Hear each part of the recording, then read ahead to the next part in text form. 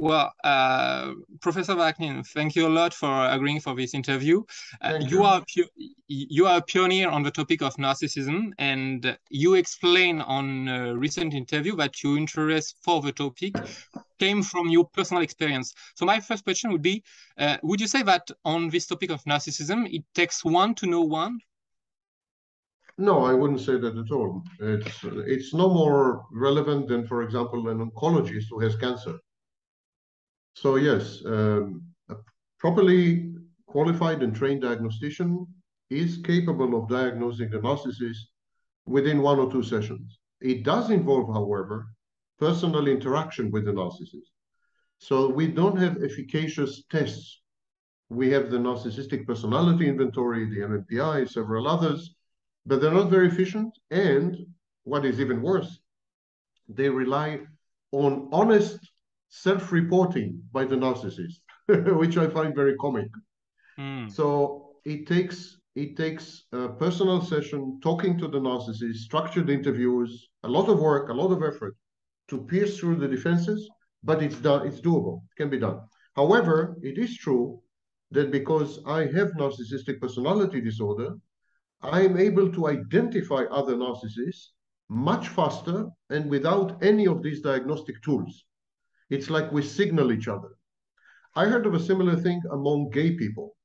It seems that people who suffer from social exclusion or, or are socially um, inapt or have problem with social cues, autistic people, gay people, narcissists, even psychopaths, they're able to identify themselves to each other very, very fast.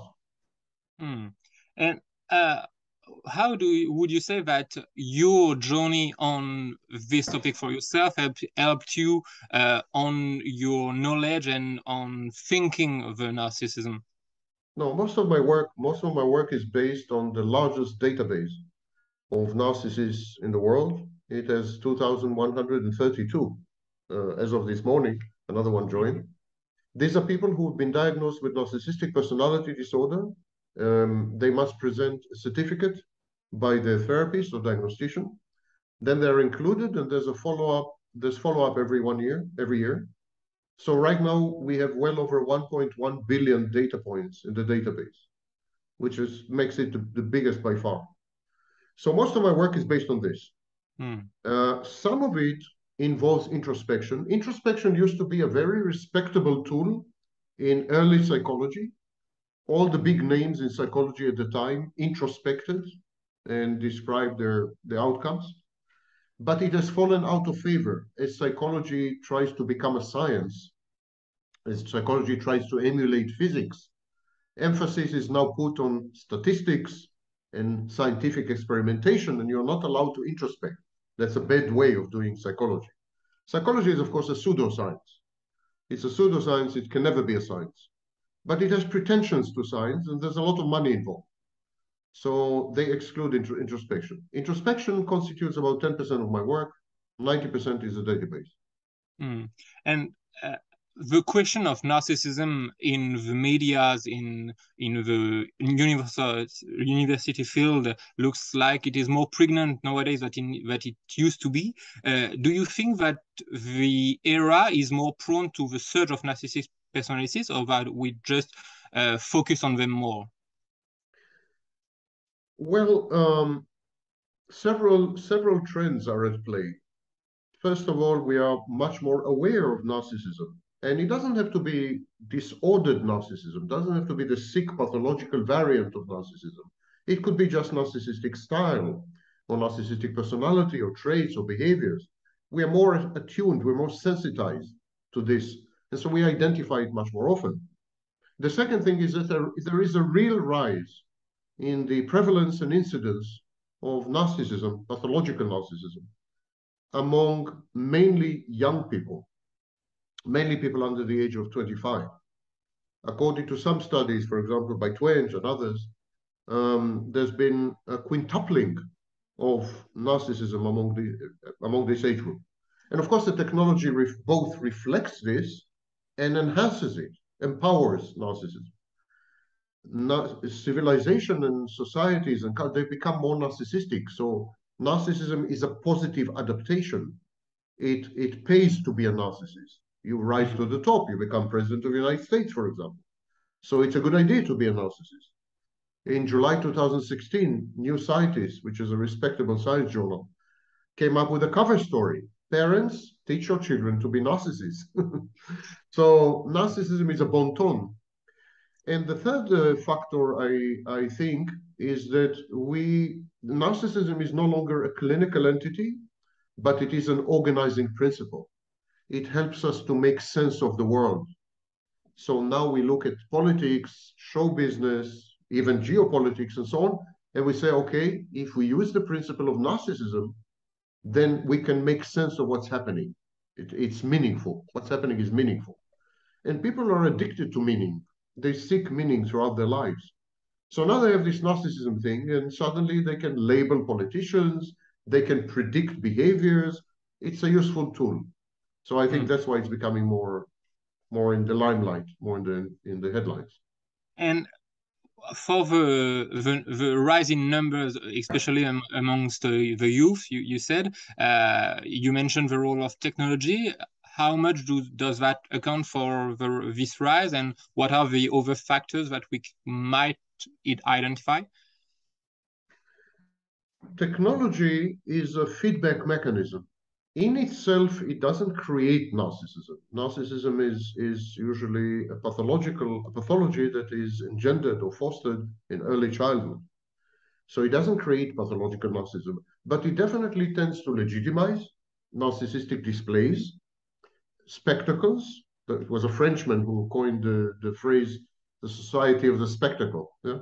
Hmm. So uh, social media tend to encourage spectacles of narcissism um, social media rewards narcissistic behaviors such as posting selfies and bragging and you know.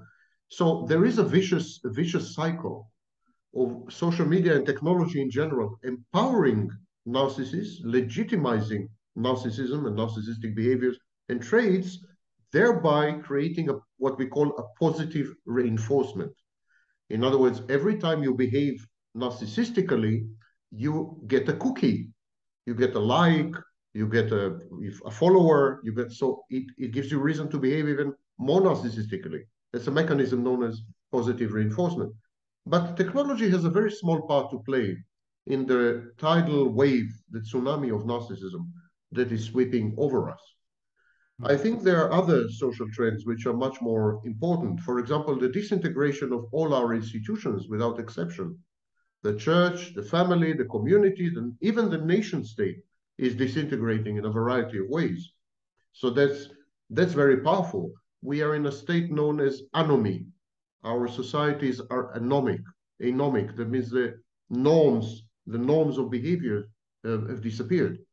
So it's it's very disorienting, and narcissism um, is a compens compensatory mechanism by pretending to be God, you're actually saying, no one can hurt me. Nothing bad can ever happen to me because I'm God. I'm all powerful, I'm all knowing, and so on. So it's a compensation for fear and panic and anxiety. It's an anxiety reducing mechanism, and our world creates a lot of anxiety. The second thing is that for the first time in human history, we have multiple fundamental, profound transitions. For example, Take gender. Gender roles have been fixed for well over 10,000 years since the agricultural revolution started and urbanization a little later. And this is the first time in human history that we are transitioning from gender roles to an agendered society or society which is which is unigendered without gender roles. That is very disorienting, of course. But had this been the only transition, it would have been in itself very cataclysmic and unsettling. And we see the war between the genders. That's a reaction, you know. People are so unsettled, they become reactionary, or they become violent, or they become aggressive, and so on. Men and women. Women are becoming a lot more narcissistic, a lot more psychopathic, according to studies. Sexual behaviors are influenced by subclinical psychopathy to a very large extent. There's a total disintegration of, of sexual scripts and so on. So had this been the only transition, it would have been bad in itself. but we are faced with at least 20 or 30 transitions of a similar magnitude, all of them simultaneous. Humans are not built to cope with this. They're simply not built to cope with this. I'm talking climate change, geopolitical realignment, gender roles, family, I mean, everything. So women are not built to cope with such an amount of change. And what they're doing is they become delusional. They become even almost psychotic. They withdraw from reality and they create a solipsistic bubble universe where they are godlike. I call narcissism a private religion. The reason primitive religions arose, the reason later monotheistic religions came to being, is that people were terrified. They were in a state of panic. They didn't know how to cope with nature. So they created gods. And so the same is happening today. We don't know how to, how to cope with our reality. So we render ourselves God, gods and godlike. We create private religion. Private religion is narcissism. So it's a religious reaction, actually. It's a form of religious reaction. So that, and so on and so forth. There are many things happening, and all of them give good reason to develop narcissism. So the confluence is irresistible. And I believe that narcissism will become the norm, actually people who are not narcissistic will fall behind, will procreate less, they will have fewer children. And so natural selection will favor narcissists and psychopaths, even psychopaths more than narcissists. We are heading that way. Hmm. That's my firm belief. And do you do you think or do you know uh, that there are some groups that are uh, especially more uh, well be becoming narcissists and psychopaths than others? Are there some groups that are especially uh, uh, following that trend, or is it uh, a global movement? No, it's a global thing. and it's on the individual level. It's on the collective level. However, um, as the sociologist Campbell noted, we have transitioned from the age of dignity to the age of victimhood. So there is a new pernicious poisonous confluence between victimhood and narcissism. There are narcissists whose grandiosity is being a victim. They, are, they feel superior because they are victims. So they have a vested interest to remain victims. They have an interest to force you to victimize them. They have an interest to feel entitled and to have grievances and to become frustrated and aggressive and violent if they don't get what they want. Because all of this is intended to support or buttress their sense of superiority, moral superiority, for example. So while in the past, victimhood movements, for example, the civil rights movements in the United States, so were not narcissistic were actually goal-oriented, purpose-oriented. And so today, most victimhood movements are about grandiosity. They are not. They don't have any meaningful agendas. They just want to be heard. They want to garner attention. They want to become celebrities and famous. They want to, con to control. They want to have power. They're power-oriented, power-hungry they are entitled and aggressive and frustrated and, and in many cases violent. Actually, every single political and social movement nowadays had converted itself into, have converted, has converted into a victimhood movement. Many ideologies which were not victimhood oriented became victimhood oriented. You can't find today anything, the far right, the far left, political parties, um, gender, I mean, you name it. You can't find uh, race, uh, skin color, uh, education. I mean, you name it. Everything is converted into the currency of victimhood. Everyone is a victim. Everyone in his dog is a victim. And if they can't find an abuser, they invent one or they force you to become one. That's an exceedingly dangerous phenomenon because narcissism is about a lack of empathy. It's about entitlement and exploitativeness. It's an externalizing disorder. It's a disorder that leverages aggression. When you couple this with victimhood, this is morally justified narcissism. This is legitimized narcissism. And so you see psychopathy becoming the norm. And but not psychopathy in your face, defiant, reckless, contumacious, hateful psychopathy like in the past. This is psychopathy masquerading as sainthood. I'm not a psychopath, I'm a saint. And if you don't recognize it, I'm going to kill you. You know, this is the, the message. I'm a victim, so I'm a saint. I'm morally superior to you. I have a right because I have grievances. I'm entitled. You have obligation towards me. And if you refuse to fulfill them, I will bloody kill you. That's the message today. How do this shift happen from what you describe as uh, the civil rights movement and the dignified victims from to, to this victimal culture movements and and the, the praise of uh, narcissism in fact there are two phenomena i think involved one is that these movements have been hijacked by narcissists and psychopaths there are studies in british columbia University and so on that demonstrated this. So narcissists and psychopaths saw an opportunity to become public faces of these movements. They infiltrated these movements and took over. And today these movements are tools, instruments of these psychopaths and narcissists. That's the first um, development. And the second development is the monetization of victimhood. The minute it was possible to convert victimhood to money, many interests enter the, the game. For example, businessmen, uh, corporations, you know, and these are by nature narcissistic and psychopathic. A typical business lacks empathy, is goal oriented, and has to compete and even be a bit vicious and evil to survive. So business is a psychopathic environment by definition.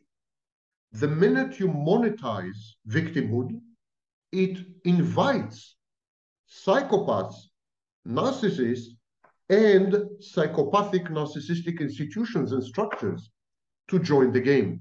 And this is precisely what happened. So the more successful victimhood movements had become, the more they, be, they got compromised by outsiders.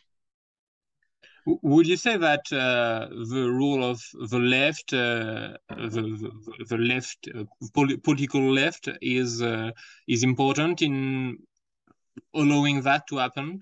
In some countries, not in all of them, of course.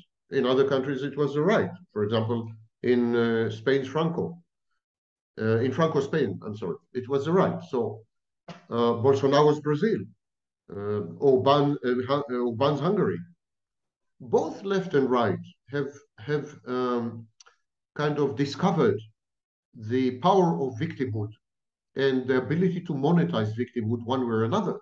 The whole European Union project is a victimhood project because you know countries apply to the European Union and say, you know, I, I have pollution, I have I've been I've been abused by my neighbors, I, I need to educate my people. I you know, and so it is an entitlement-based program. I'm entitled. Give me money, you know. And it, of course, victimhood had been discovered long before. The Nazi movement was a victimhood movement. Hitler's message was the German people had been victimized in Versailles by the Allies, and we should reclaim our dignity. We are victims, and we are entitled because we are victims. And we're entitled to Lebensraum, we're entitled to living space, because they have confined us in a tiny territory, having taken away half of Germany. Similar messages you had in Serbia. Similar messages you had in Hungary. So victimhood is not new, nothing new about victimhood. But while victimhood in the past used to be dignified on the level of the individual and politicized on the level of the collective, so you had political victimhood like Nazism, like communism. Communism was a victimhood movement. The proletariat is abused by the business owners and the big feudal landowners. Yes, it's a victimhood movement. So on the collective level, victimhood was politicized. On the individual level, victimhood was dignified, for example, in the civil rights movement. While this happened in the past, Today, victimhood is a business. It's simply a business. It's an offshoot of capitalism. And because capitalism is ubiquitous and all pervasive, right or left, doesn't matter, it became big business. That's as simple as this. Of course, the, the left is taking a ride on victimhood, the woke movements and other such bullshit, politically correct nonsense and so on. Of course, they're taking a ride on it. But you know what? The far right is doing the same. The alt right is doing the same. Alex Jones made $200 million of victimhood. And he's not exactly left wing, yeah? Yeah. So it's all over the place. It's the monetization of suffering. The monetization of suffering. With no suffering, you invent suffering because it pays. As simple as that. It's capitalism. If you want the root cause, it's the malignancy of capitalism. Not capitalism as an ideology or capitalism as a form of allocating resources. It's very efficient form. It's not what I'm talking about. I'm talking about the ideology of capitalism that became cancerous. The ideology that says you can measure everything with money and everything should be geared towards economic growth. This is not capitalism. This is an ideology superimposed on capitalism. Nothing in capitalism says that you have to grow economically all the time. When you say I have to grow economically all the time means I have to produce new consumers. And to produce new consumers, I need to brainwash them into consuming needlessly. So there is a whole cycle here of very evil, evil mind control techniques. And the response to this by helpless people is narcissism. People feel helpless. People feel hopeless because of the forces of ideological capitalism. So they're responding by pretending that they are gods. It's a compensatory, it's psychosis, it's utterly delusional sick, as sick as religion. It's a form of religion. And how, to what extent and how much dangerous do you think that the victimhood culture might be to our societies? Well, deadly, more or less. Take, for example, the gender issue. Um, there is a, a, precipitous collapse in the production of new new children. Now we say we don't need children. We have 8 billion people. That's nonsense. We don't have 8 billion people. We have 2 billion people who are old, under, uh, over the age of 65. That's what we have. We miss two, 300 million children in order to support the pension schemes. Forget other things. So we have a deficit in children. And this deficit is direct outcome of gender wars and the unigender approach, which is a direct outcome of a victimhood movement known as feminism. So there is an example for you. So we don't have children. 31% of adults in industrialized countries are single for life. They don't have relationships. They have two cats and Netflix. That's what they have for a life. You know, it, it's bad. Situation is seriously bad. Women and men are totally disoriented. They hate each other. They fight each other. You have phenomena like MGTOW and incels and red pillars or don't know what. Sick phenomena of sick people. It's bad.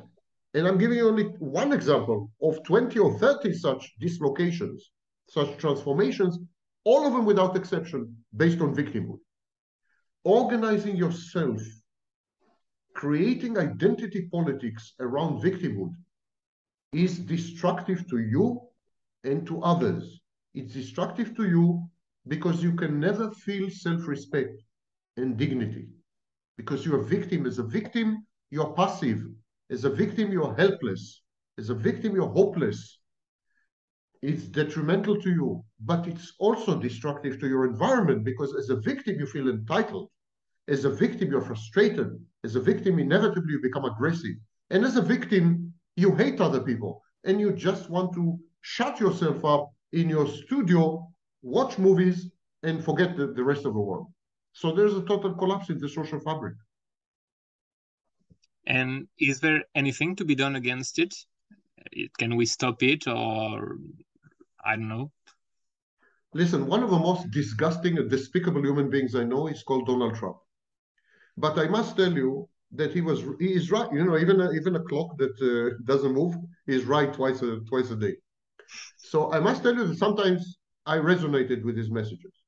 And one of the messages I resonated with is that we must get rid of victimhood speech. Of course, Trump has created a victimhood movement in the United States. The victimhood of the white, suppressed male, working class male. That was his message. That the whites are losing America. it's a victimhood movement. But on the other hand, he did espouse a message of we should stop being politically correct. We should confront the woke movements. We should confront the left, and we should get out of this. We should we should reclaim our strength. Ironically, he coupled it with a victimhood message. But had it been decoupled, I would have fully supported it. Hmm. Yes, wherever we see victims and victimhood, we should fight them tooth and nail. There is now a movement of reparations for slavery. Really? What the hell is this?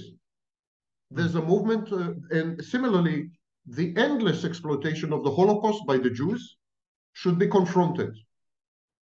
Similarly, gender grievances and complaints, patriarchy, the evil that men are and men did to women throughout the throughout millennia. Listen, let me tell you something. Everyone has been victimized at one time or another. That you had been subject to abuse and suffering, that you had been victimized doesn't make you a victim. A victimhood is an identity. It's not the same as being victimized. Everyone is victimized by the tax authorities. I don't know. Everyone is a victim to someone. We must stop this. We must stop the conversion to identity politics. And when we see it happening, we must confront it everywhere in with everything at our disposal. So even even sensitive issues like the Holocaust should be confronted. Of course, the Holocaust happened. I'm not a Holocaust denier, I'm a Jew. The Holocaust did happen. It was possibly the most horrible genocide in human history, probably. That's not the issue. The issue is to, to monetize it is morally abhorrent and reprehensible. And to monetize it 70 years after the event is disgusting. It's business. There's nothing to do. The, these people have died already. So this should stop. And, and, and same, same with many black grievances. The, the black community in the United States rather than confront its own shortcomings, for example, the disintegration of the family structure, the irresponsible responsibility or the lack of responsibility of the black, typical black male, the explosion of use of drugs and criminal behavior among the black communities. Instead of confronting these and admitting to these shortcomings and trying to tackle them, they put they put all the responsibility on wrongs that have been committed 150 years ago. No one denies that slavery was a catastrophically horrible event or process. But there's a limit, and we must place it now, or we, we're all lost. How, how do you confront uh, a, a, victim a victimhood attitude if it is coupled with the narcissism that you described uh, at the beginning? How, how, how do you confront those two those two issues at the same time? Because they are intertwined one way to do that is to provide alternatives to grandiosity other outlets to grandiosity so, for example, someone is is someone's grandiosity is invested in in their victimhood.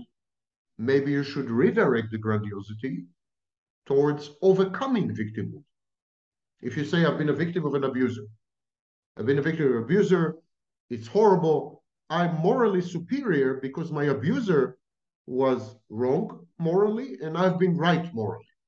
You could say, well, maybe you can overcome your victimhood Maybe you're strong, maybe you're resilient, maybe you have untapped resources, and you can overcome your victimhood and your suffering and, and then teach others and so on. This is a form of redirecting grandiosity. Listen, it's hopeless to fight narcissism, exactly like climate change. All this nonsense about reversing climate change is total nonsense. It will not happen. Climate change is here, it's coming, it will be upon us. Better prepare for it rather than try to reverse it. It's not working, will never work. Same with narcissism. The tsunami is here, start swimming. So rather than trying to reverse narcissism and so on, we should try to channel it. Narcissism is energy, it's a force.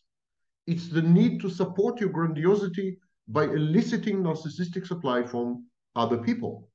So channel it. You can elicit supply by pretending to be a victim, or you can elicit supply by demonstrating to the world what a strong, resilient person you are and how you would overcome your victimhood. Yes, I was born a slave, but now I'm a multimillionaire. There are two options. You can say, I was born a slave, you owe me because you tortured me and you, you, you separated my family and you stole, you kidnapped me from Africa. Yes, I'm a slave. So now you owe me money. That's one approach. And the other approach is, I, I've been a slave. You have abused me and tortured me. And look where I am now. I'm a multimillionaire. I'm a successful author. I'm an intellectual. I don't know.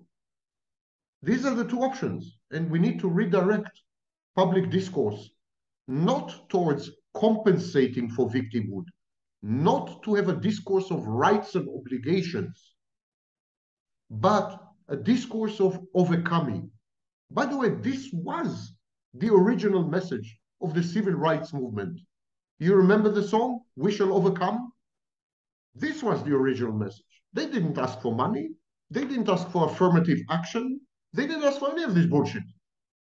They just asked to be treated equally and mm-hmm. fairly, and they agreed to do the job themselves of reconstituting their lives and overcoming, triumphing. We should emphasize triumph rather than monetizing and compensation. But triumph is not a capitalistic discourse. That's a problem. Our language is contaminated by capitalism. We ask, what's in it for me? How much is it worth? How much do I stand to get out of it? These are capitalistic narratives. Instead, we should move away from capitalistic narratives and towards, I would say, psychological narratives of resilience, of strength, of transformation, and of overcoming. These have been the narratives for well over 10,000 years in all the ancient religions, in mysticism, in philosophy. These were the narratives. No one talked about money. No one said if you achieve nirvana, you will get $1 million. No one said that. You achieved nirvana because you wanted to achieve nirvana. End of story. Not because you wanted to become Bill Gates. But today you have the likes of Tony Robbins, Tony Robbins and, and other, uh, you know, profound thinkers whose message is there's a giant inside you. If you awaken it, you'll be a multimillionaire and you will have nice cars and the most beautiful girls. That is the epitome today and the quintessence of the horizon of young people.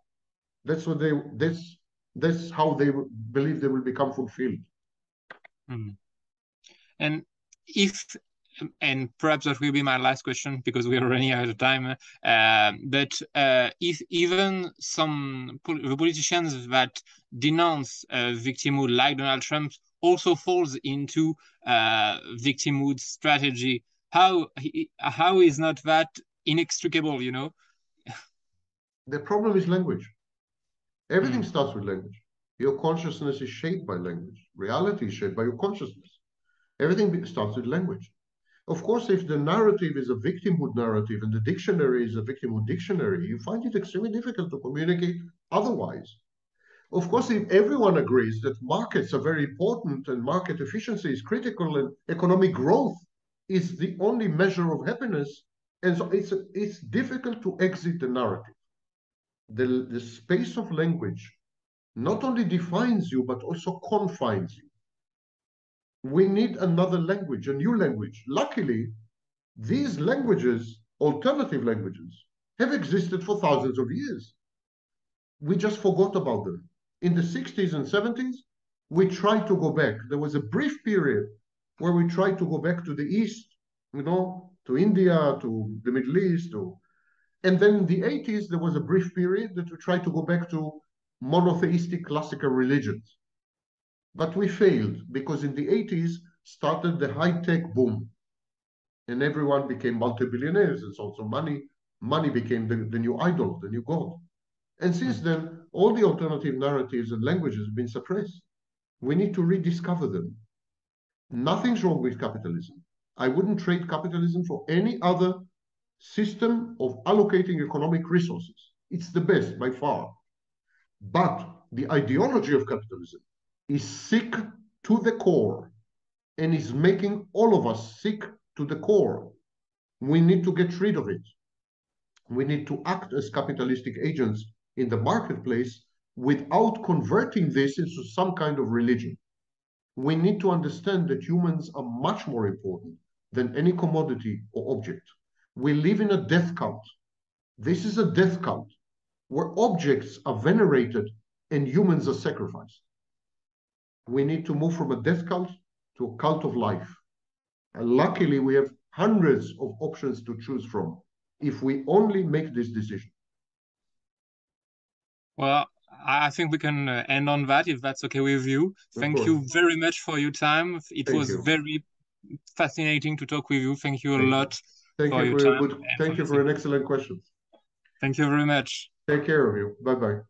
You too. Bye.